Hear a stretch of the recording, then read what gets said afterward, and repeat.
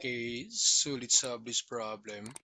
So for this central angle and the intercepted arc, and this is the theorem that the central angle is equal to the intercepted arc.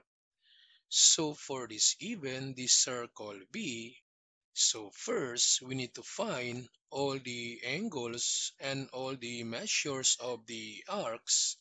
So from this given, this is 151 degrees and from the theorem that the central angle is equal to the intercepted arc so therefore this arc is also equal to 151 degrees. Then to find this angle since this is a straight angle and a straight angle is 180 degrees. So to find this angle, so we have this 180 minus this 151 degrees. So this angle is equal to 29 degrees. Then from the theorem that the central angle is equal to the intercepted arc, so this arc is also equal to 29 degrees. Then for this angle, since this is 90 degrees, so therefore this arc is also equal to 90 degrees.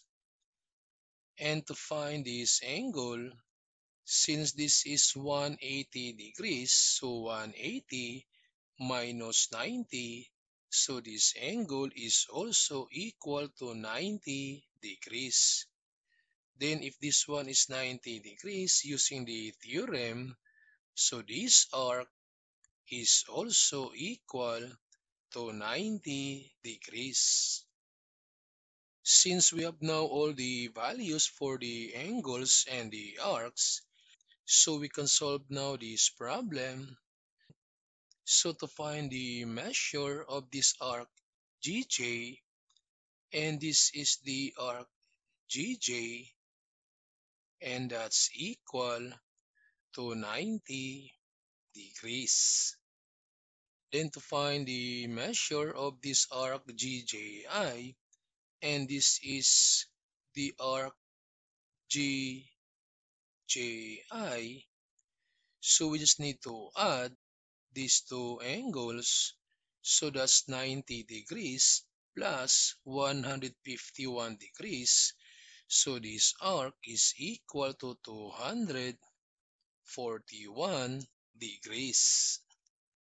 Then for this arc, HGJ, so H, G, and J, so add these two angles, so 90 plus 90 this is equal to 180 degrees.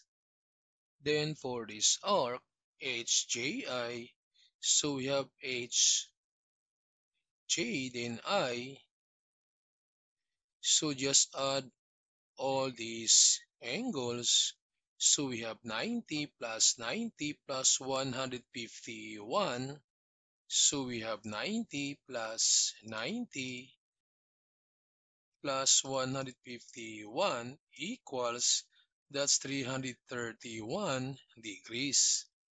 So this is equal to 331 degrees. Then for this arc, HI, so arc HI is equal to 29 degrees. Then for arc GHI, so G h then i. So just add these numbers. So 90 plus 29, this is equal to 119 degrees. Then for this arc, GH, so arc GH, so that's equal to 90 degrees. Then for this arc, JHI, so J, H, then I. So are these angles. So we have 90 plus 90 plus 29. So we have 90 plus 90 plus 29 equals that's 209 degrees. So this is equal to 209 degrees. Then for this arc, HIJ, so HIJ, so are these angles. So 151 plus 29, so this is equal to 180 degrees. Then for this arc, the GJH, GJH, so again, just add these angles.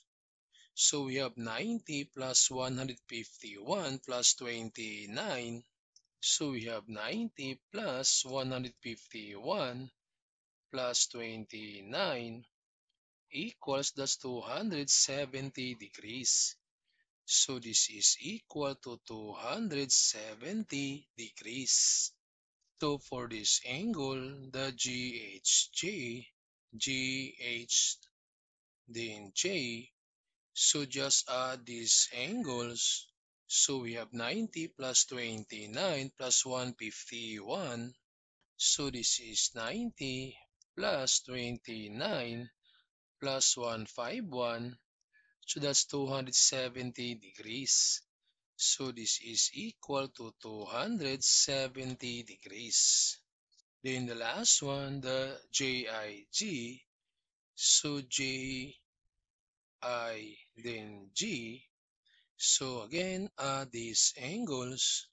So 151 plus 29 plus 90. So this is also equal to 270 degrees.